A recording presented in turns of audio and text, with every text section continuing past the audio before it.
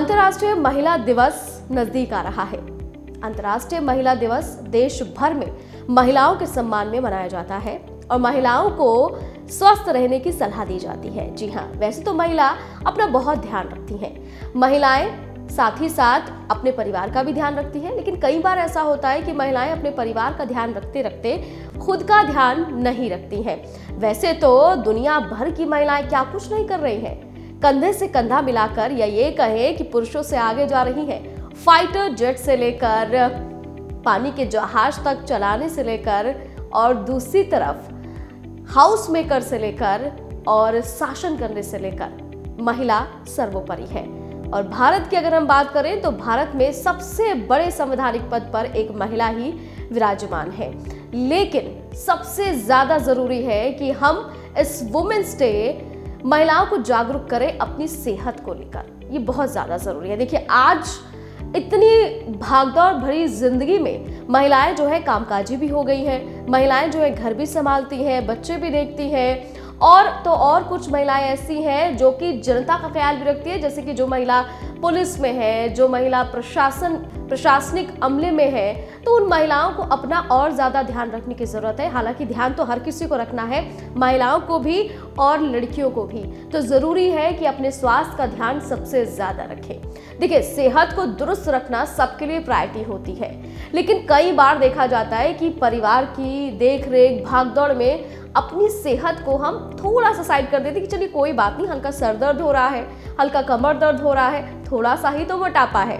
ठीक है, चल जाएगा, लेकिन चलेगा नहीं। आपको संभलने की ज़रूरत है, क्योंकि स्टडीज़ कहीं ना कहीं आपको चेता रही हैं कि भाई, दूसरों को आप लोग इतना समय देती हैं, दूसरों की इतनी चिंता करती हैं, परिवार का इतना ख्याल रखती हैं तो अपना भी थोड़ा सा ख्याल रखने में कोई भी कमी नहीं होनी चाहिए। अपना थोड़ा सा समय निकालें और अपना ध्यान ज़रूर करें रूटीन चेकअप ज़रूर कराएँ। देखिए, महिलाओं के हेल्थ मर्दों की अपेक्षा ज़्यादा कॉम्प्लिकेटेड होती है, ये किसी से छिपा नहीं है। इसलिए सेहतमंद रहने के लिए महिलाओं को अपनी बॉडी की ज़्यादा केयर करने की ज़रूरत होती है। इमोशन तो होते हैं उनके अंदर इमोशनली वो बहुत जल्दी कहीं ना कहीं प्रभावित होती है, लेकिन बीमारियों से भी ग्रसित हो जाती हैं। ऐसी कई बीमारियाँ हैं जिनकी चपेट में महिलाएँ ज़्यादा आती हैं। तो चलिए आज उनके बारे में आपको बताते हैं कि महिलाएँ सबसे ज़्यादा किन बीमारियों का शिकार हो जाती हैं। महिलाओं में सबसे ज़्यादा होने वाली बीमारियाँ ब्रेस्ट कैंसर सबसे ऊपर आता है। ब्रेस्ट कैंसर के बारे में हम लोग आजकल बहुत पढ़ रहे हैं, बहुत सारे केसेस आ रहे हैं और कुछ महिलाएँ जागरूक भी हुई हैं, लेकिन आज भी बड़े पैमाने पर महिलाएँ ऐसी हैं जो इसको लेकर जागरूक नहीं है। हम ये नहीं कह रहे कि आपको नॉलेज नहीं है, आपको नॉलेज है, लेकिन क्या आप रूटीन चेकअप कराती है? ये ज़रूरी है। ब्रेस्ट कैंसर महिलाओं को होने वाली सबसे बड़ी और गंभीर बीमारियों में से एक है। भारत की बात करें तो यहाँ महिलाओं में ब्रेस्ट कैंसर के मामले अब बहुत ज़्यादा तेज़ी के साथ सामने आ रहे हैं। खबरों की माने और अध्ययन की माने तो भारत की महिलाओं को होने वाले ब्रेस्ट कैंसर के मामलों में सबसे ज़्यादा यानी कि 25 फ़ीसदी से ज़्यादा मामले ब्रेस्ट कैंसर के होते हैं। इससे बचाव के लिए ज़रूरी है कि 30 साल के बाद महिलाओं को साल में कम से कम दो बार ब्रेस्ट कैंसर की जाँच के लिए मेमोग्राफी टेस्ट कराना चाहिए। इससे आपको ये पता चलता रहेगा कि आप ठीक हैं और आपका ब्रेस्ट जो है वो पूरी तरह से स्वस्थ है। और आने वाले समय में इसकी जाँच होनी चाहिए और आगे भी आपको करवानी चाहिए। ये नहीं कि आप एक ही बार जाँच करा लें और फिर आराम से बैठ जाएँ। साल में कम से कम दो बार टेस्ट ज़रूर कराएँ। एनीमिया सबसे आम बीमारी और सबसे ज़्यादा यही महिलाओं को होता है।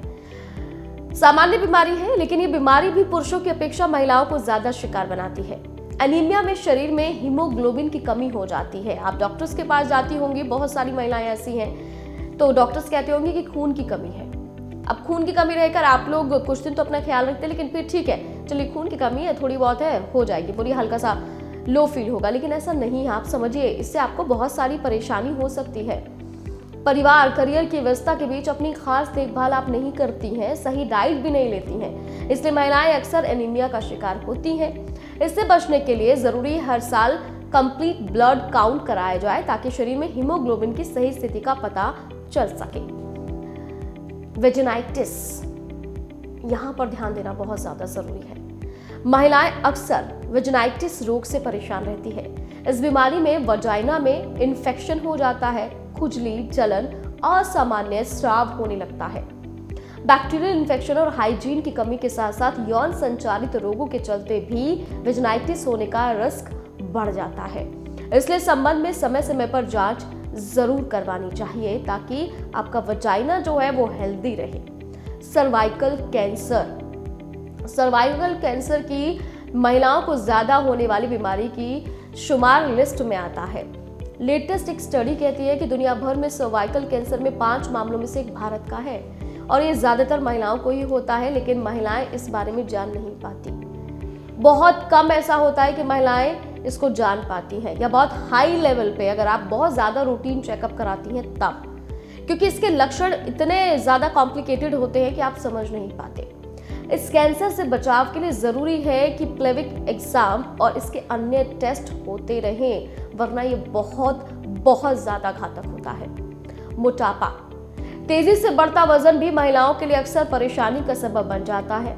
भारत में अक्सर ऐसे मामले देखे गए हैं जहाँ महिलाएँ अपने स्वास्थ्य के प्रति लापरवाह होकर बढ़ते वज़न को इग्नोर करती हैं। यूँ तो मोटापा महिलाओं, पुरुषों दोनों को परेशान करता है, लेकिन पिछली कुछ स्टडीज़ कहती हैं कि महिलाएँ 30 से 40 साल की उम्र के बाद इसकी चपेट में तेज़ी से आती हैं। तो अपने आप को हेल्दी रखिए एक्सरसाइज ज़रूर करें, आप योगा का सहारा भी ले सकती हैं। डाइट का ख्याल रखना बहुत ज़्यादा ज़रूरी है। आप बहुत खूबसूरत है, लेकिन अपने स्वास्थ्य को खूबसूरत रखना बहुत ज़्यादा ज़रूरी है। उम्मीद है कि आपको इन्फॉर्मेशन पसंद आई होगी, क्योंकि ये इन्फॉर्मेशन आपके पास पहुंचाना ज़रूरी है। इसी के आधार पर आप अपनी डाइट भी प्लान कर सकती हैं। आप सभी को एडवांस में हैप्पी वुमेंस डे